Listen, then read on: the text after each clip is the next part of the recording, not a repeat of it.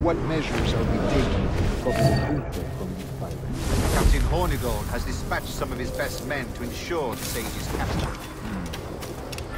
What of the Sage's present location?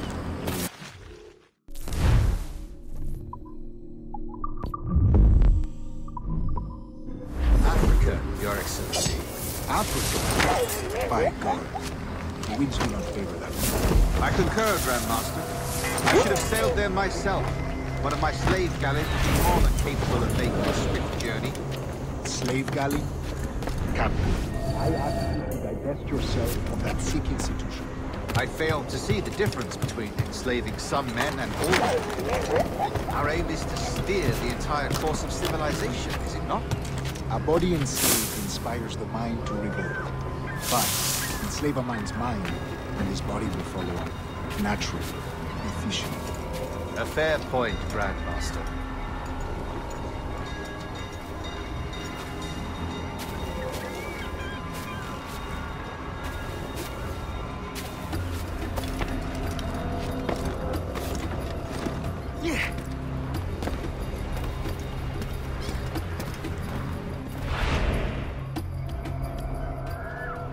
Uh, remind me, where in Africa are we looking? Principe, sir, a small island. We've sent two of our best men, Burgess and Cochrane. Privateers with fast ships and firm hearts. Edward Kenway! Imagine my surprise at seeing your Jackdaw anchored there. Have you heard all you came to hear? Will you now rescue the sage from our clutching hands? A pox on you, traitor! You sold us downriver. Because I found a better path. The Templars know order, discipline, structure. But you never could fathom these subtleties. Goodbye, old friend.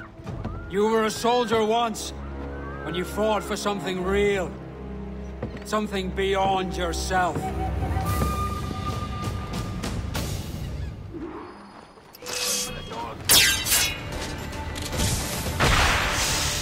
Hurry up!